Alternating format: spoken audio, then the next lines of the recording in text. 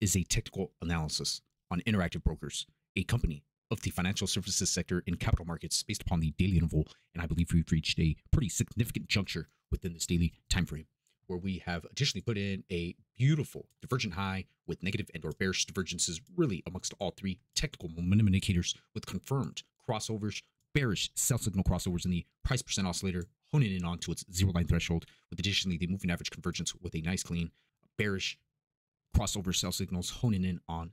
into its zero line threshold there as well. Near term divergent high, near term, again, negative and bearish divergences amongst all three technical steeper uh, indicators, and just increasing the odds for more downside to come with the oscillator histogram printing nice clean red candle closes below uh, its additional zero line thresholds. So there is without a doubt that there is damage being infused into the technical momentum indicator dimensions where I believe lies a significant turning point and transitioning zone where we broke down below this minor primary reactionary low uptrend line off the March reactionary lows, just a multitude of reaction right across that sphere, and we are back testing into it as we under slightly undercut the 50-day moving average, and we are honing in to retest and re-challenge the primary uptrend line, offering an objective short trade entry, where additionally you could set some stops, uh, some scaling out and or the scaling out process on breakouts uh, and solid daily candle closes above the 93.28 price uh, resistance on a stop out versus your reward down to the 86.25 price support for a 5.16% crash,